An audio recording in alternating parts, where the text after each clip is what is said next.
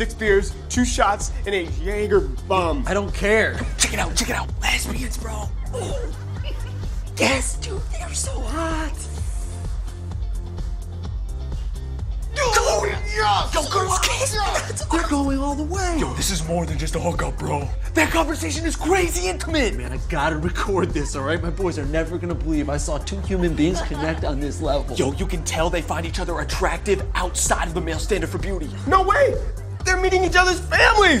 Oh, nice, dude! Everyone seems to be getting along. They're happy that their daughters are happy, bro. They, they just started dating and, and they're already moving in together. One of their dads is gonna co-sign the lease. Yo, he's so open-minded. It's so banging. You know, that is a crazy commitment, but not as serious as. Holy shit! Holy shit!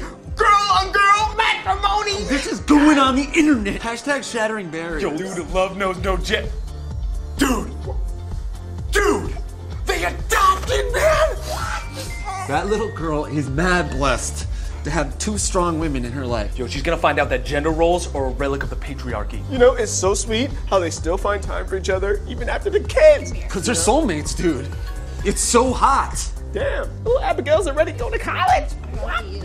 Study hard. It's like she was just born a few seconds ago. Oh no, one of their moms passed away. It's a good thing she has a rock. Yo, she'll be strong enough for the both of them. Dad, yo, look at all the grandchildren. Those are some proud ass matriarchs. Time has come full circle, bros. She will die as she lived, with love by her side. Dudes, there is a dead old lady in our frat house. Yo, we're so screwed. Yo, no one's gonna believe what happened. I gotta go.